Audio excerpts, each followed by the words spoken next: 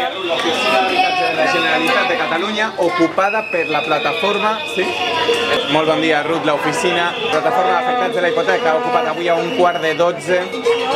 Molt bon dia, Ruth. L'oficina d'habitatge de la Generalitat de Catalunya ocupada per la Plataforma d'Afectats per la Hipoteca. Des d'un quart de 12 porten esperant la visita del conseller Santi Vila o almenys que els doni una... Ui, ara entra la policia.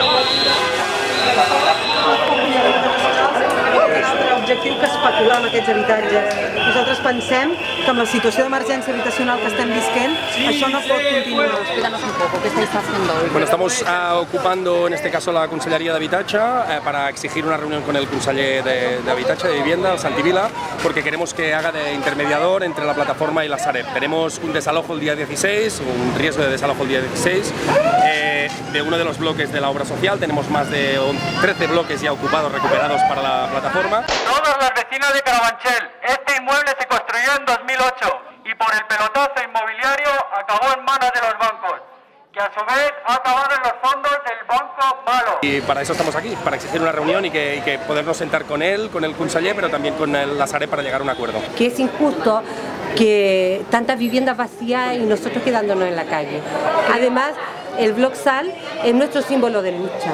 Es aquí pasa algo y esto está denunciando qué está pasando. Atención, movimiento de la plataforma. El banco malo, el Sareb, venta inversores buitres todo nuestro patrimonio, dejando el umbral de la pobreza a cientos de familias, el esfuerzo de nuestros padres, hijos y abuelos a tomar por culo. Así jamás saldremos de esta estafa. Por eso y mucho más, paisano, ¡Viva Para nosotros es muy importante, queremos hacer una marea humana y social, tenemos muchas adhesiones de colectivos, eh, de sindicatos, de los bomberos de la Generalitat, por ejemplo, nos han dicho que van a estar con nosotros el día 16 para parar eso, entonces eh, forma parte de esta campaña que queremos eh, llevar a cabo para parar el desahucio del 16. Pau, muchas gracias. Gracias. Gracias.